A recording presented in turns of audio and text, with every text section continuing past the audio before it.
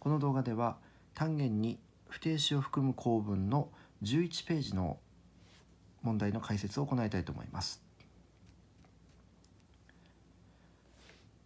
この11ページの前10ページの、えー、解説のところでは enough to そして to to この2つの、えー、ポイントとそして、まあ、意味の違いですね。そしてもう一つは独立不定詞と言われるいわゆる覚えるシリーズ。to tell the truth とか。Needless to say のような表現。これを学習しました、え、それらを用いて13番14番15番の問題に行きましょう。まず13番の括弧1です。私は運転免許証を取得できる年齢だ。なんかポイントというポイントが入ってないような気がするんですがまあこの「できる」という肯定的なところからピンときてほしいですね。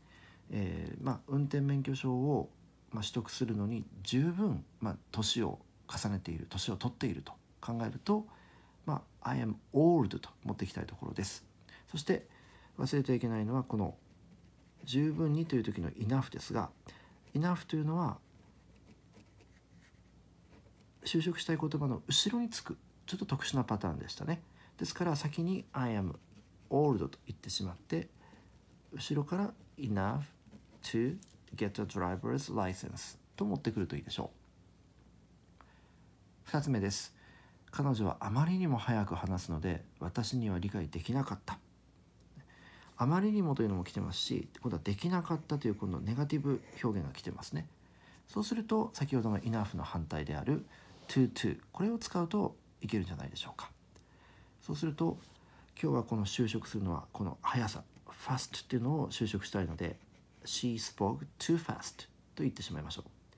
そして理解できなかったのは今度は私ですよね。私が理解できなかったので私にとっては理解できなかったというふうに意味上の主語を入れてやる必要があります。つまり for me という久々に来ましたね。意味上の主語。これを使いましょう。そして to understand とすることによって私が理解できなかったという否定の意味になります。はい3番です。実を言うと私は飛行機で旅行したことがない。この実を言うとというこれが出てますよね。パッと浮かびますか？はい。To tell the truth. I've never traveled by plane. ですね。はい。続けて4番です。彼はいわば大きな赤ん坊だ。いわばという表現。これがパッと浮かんでくれると He is 挟み込むような形で使いましょう。So to speak. このように使いますね。He is a grown-up baby. まあ成長した赤ちゃん。まあいわば大きな赤ん坊となるわけですね。はい。続けていきましょう。14番です。かっこ1 My mother was brave enough to catch the thief、まあ、brave というのは勇敢ということですよね。イナフが後ろから説明してくれてます。つまりお母さんっていうのは十分に勇敢だったから thief 泥棒を捕まえることができた。というふうに訳してもいいですし、まあえー、お母さんは勇敢にも泥棒を捕まえた。あるいはお母さんは泥棒を捕まえられるほど勇敢だった。こんなふうに前からでも後ろからでも訳は結構です。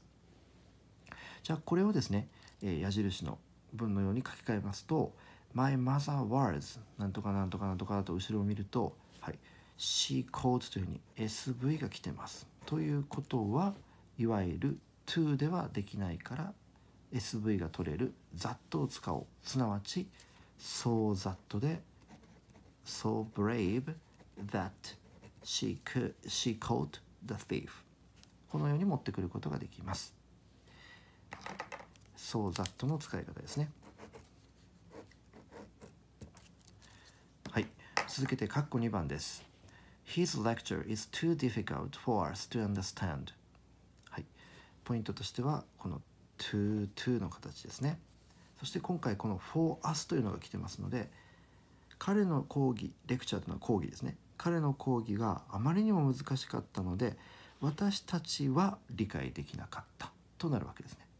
否定の効き目がありますのでね否定で訳してくださいこれも後ろからやってもいいですね、えー、彼のレクチャーは私たちが理解できないほど難しかったとしても構いません。はい。ではこれを書き換えると His lecture なんとかなんとかときてまたやはり We というこの主語的な存在が来てるわけですから、まあ、SV を補えばいいんだろうなとなりますね。そうすると His lecture is so difficult that ということで書けます。そして次に今回気をつけたいのは今回は難しすぎたってことですから否定の意味合いが入りますよね。ですから過去の形ですから今日は couldn't ですか、ね、couldn't understand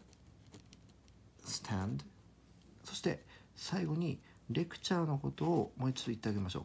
そのレクチャーのことを理解できなかったですから2度目ですから代名詞の「it」に変えましょうか。はい。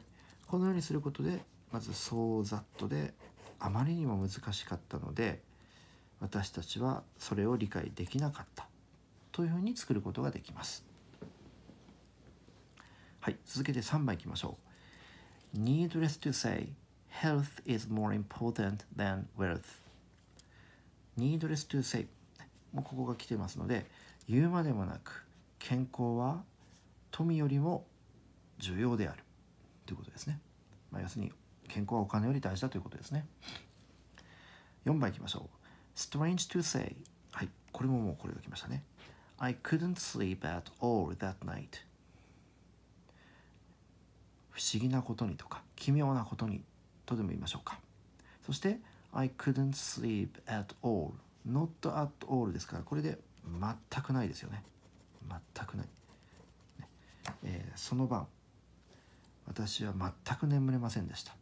ですね。不思議なことにその晩私は全く眠れませんでした。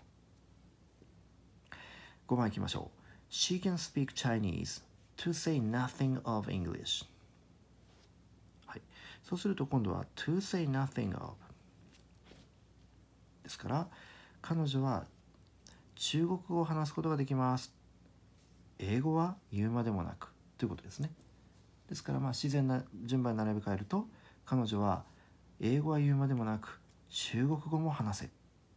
こんなふうに訳すと綺麗だと思います。はい。そして15番の問題です。括弧1その水は十分きれいなので飲むことができる。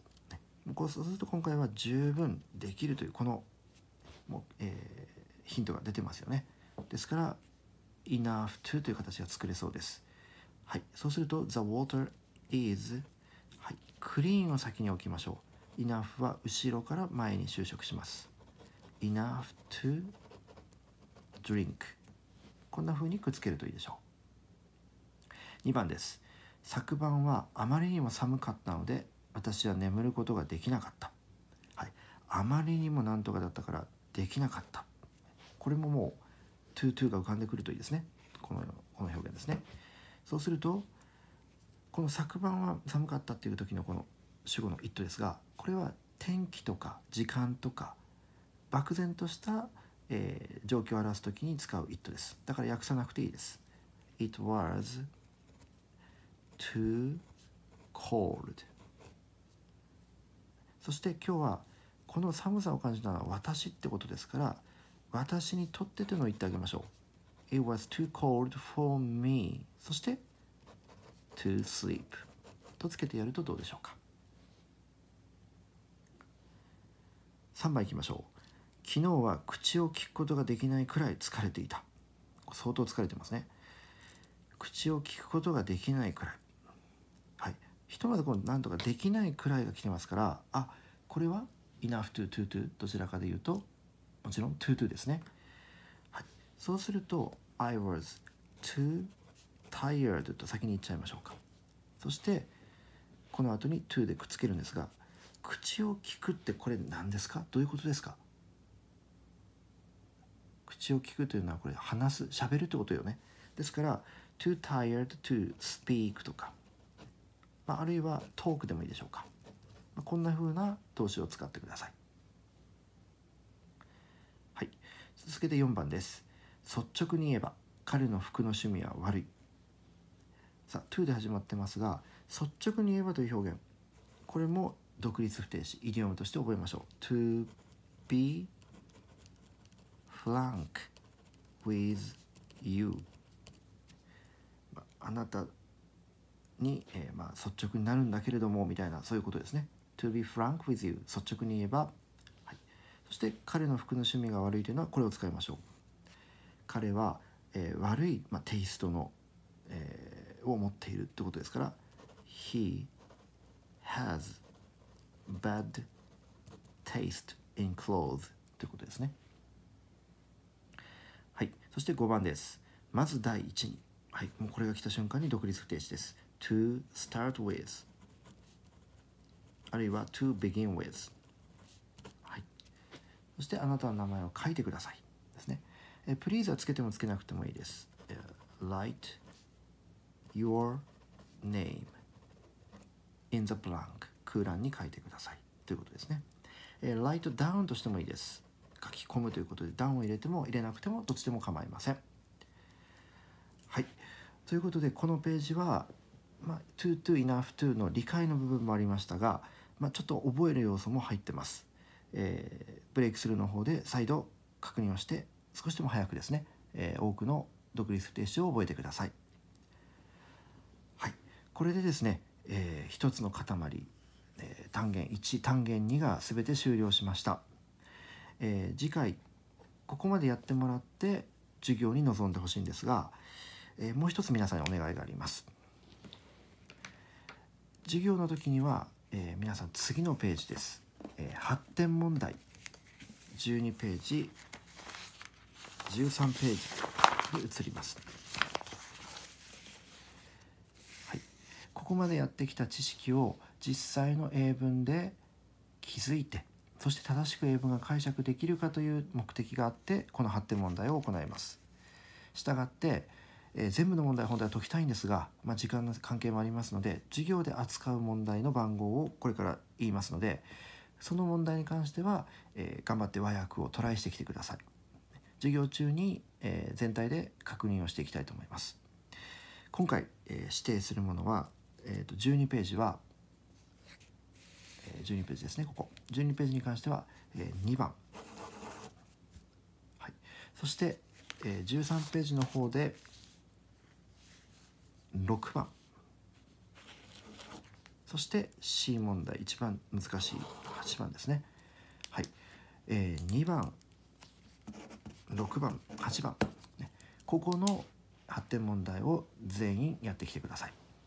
その他の問題に関しては、えー、やってきてくれれば添削の方で見ますのでできる限りそのテキスト本体ではなく別のものでね提出をしてくれると嬉しいです。はいではですね、えもう一度この単元12の、え例文